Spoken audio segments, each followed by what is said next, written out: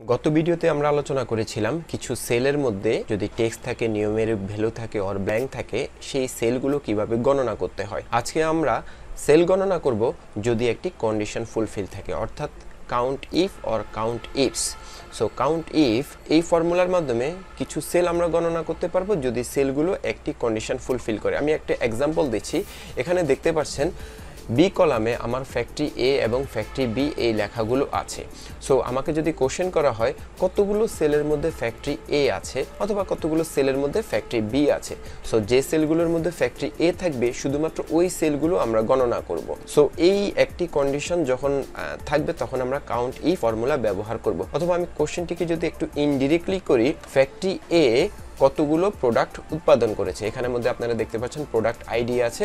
So আমি যখন এই বি কলামের ফ্যাক্টরি এ কাউন্ট করব লাইক এখানে ফ্যাক্টরি এ আছে, এখানে আছে এখানে আছে। সো আমাকে যদি কোশ্চেন করা হয় ফ্যাক্টরি এ কতগুলো প্রোডাক্ট উৎপাদন করেছে, তাহলে আমি বি কলামে যখন ফ্যাক্টরি এ এই সেলগুলো কাউন্ট করব ইনডিরেক্টলি আমার কতগুলো উৎপাদন করেছে, এই অ্যান্সারটিও চলে আসবে।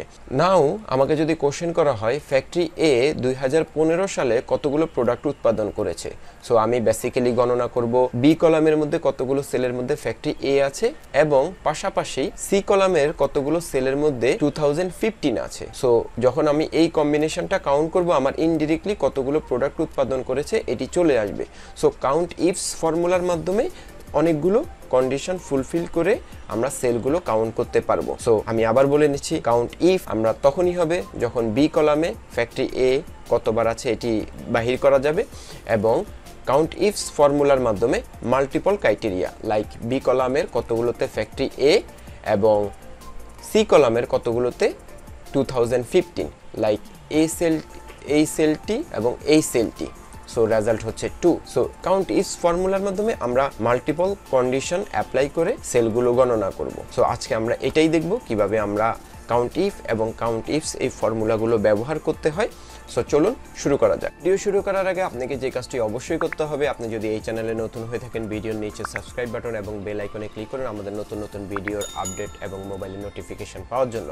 আর যদি অলরেডি করে থাকেন, দেন ধন্যবাদ। আপনার ফর্মুলা এবং বিবিএ কোডিং রিলেটেড যে কোনো প্রবলেমে আমরা আপনার সাথে আছি, শুধুমাত্র ফেসবুক পেজে আমাদেরকে জানিয়ে দিন। সো চলুন আজকে শুরু করি।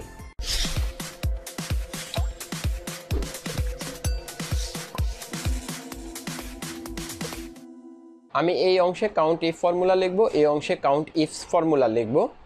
সো ফার্স্টে আমি যদি প্রোডাক্ট ফ্যাক্টরি এ কতগুলো প্রোডাক্ট উৎপাদন করেছে, এর জন্য আমি এই রেঞ্জের মধ্যে কতগুলো সেলের মধ্যে ফ্যাক্টরি এ আছে, এটি বাহির করলেই আমার কতগুলো প্রোডাক্ট তারা উৎপাদন করেছে, এটি বাহির করা হয়ে যাবে। সো আমি এখানে ফ্যাক্টরি এ কন্ডিশনটা একটু লিখি।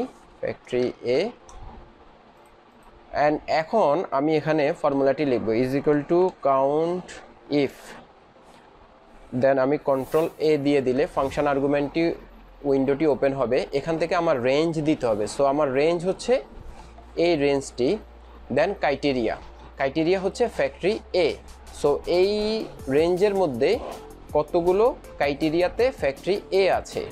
সো আমি ক্রাইটেরিয়া সেলটি সিলেক্ট করে, এই বক্সটি সিলেক্ট করে দেন এখানে দিয়ে দিলাম। সো আমার রেজাল্টটি আসছে চার। দেন আমি ওকে দিয়ে দিলাম রেজাল্টটি ফোর সো কাউন্ট ইফ ফর্মুলার মধ্যে দুইটি সিনটেক্স আই মিন দুইটি আর্গুমেন্ট একটি হচ্ছে ফার্স্ট হচ্ছে রেঞ্জ এবং এই রেঞ্জের মধ্যে কোন ভ্যালুটি আমরা খুঁজবো আই মিন ক্রাইটেরিয়া সো আমরা আবার আরেকটু দেখি। এখানে দেখতে পাচ্ছেন কাউন্ট ইফ ফর্মুলার মধ্যে প্রথম অংশটি হচ্ছে রেঞ্জ দেন হচ্ছে ক্রাইটেরিয়া কোন রেঞ্জের মধ্যে কোন ক্রাইটেরিয়াকে আমরা খুঁজবো? সো এই রেঞ্জের মধ্যেই আমরা ফ্যাক্টরি এ কে খুঁজবো।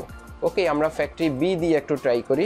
Factory B okay.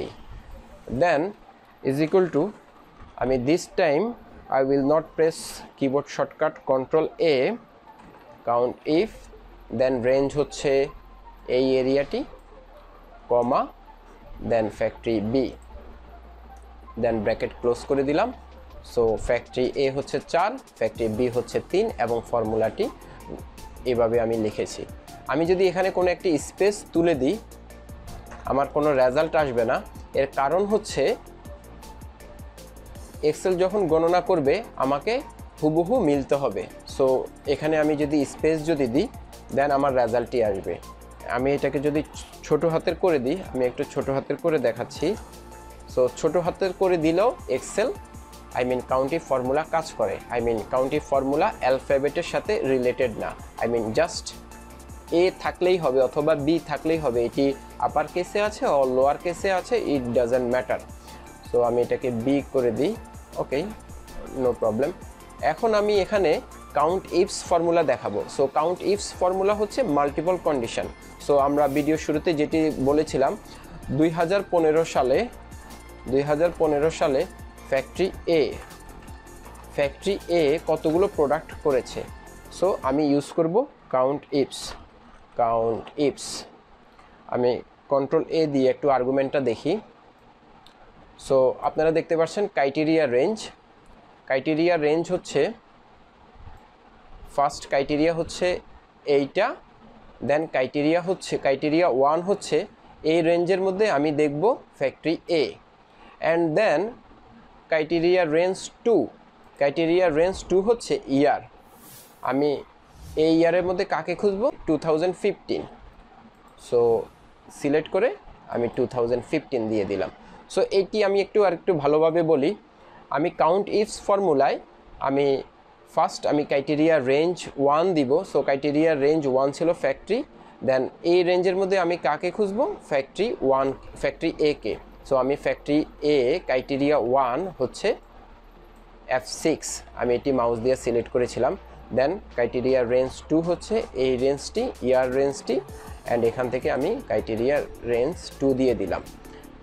আমি যখন এভাবে যতবার আমি অ্যাড করব, ততবার আমার ক্রাইটেরিয়া রেঞ্জ থ্রি ফোর এভাবে করে ইনক্লুড হতে থাকবে। আপনার যতগুলো ক্রাইটেরিয়া থাকবে, ততগুলো ক্রাইটেরিয়া আপনি এখানে লিখতে পারবেন। সো এই ক্রাইটেরিয়ার উপর বেস করে আমার রেজাল্ট হচ্ছে টু আমি ওকে দিয়ে দিলাম।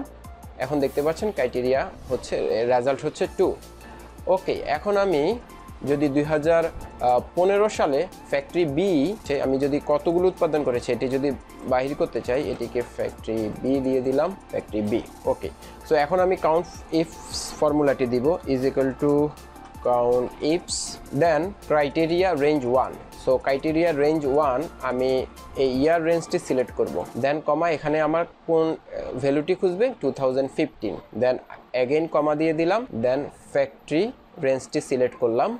দেন কমা ফ্যাক্টরি বি দেন আমি ব্র্যাকেট ক্লোজ করে এন্টার দিয়ে দিলাম।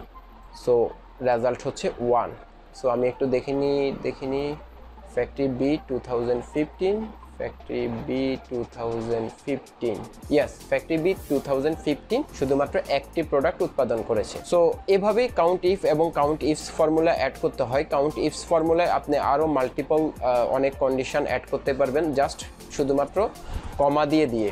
প্রথম অংশে আপনাকে রেঞ্জ সিলেক্ট করতে হবে। ওই রেঞ্জের মধ্যে কাকে খুঁজতে চান? আই মিন ক্রাইটেরিয়া কি হবে?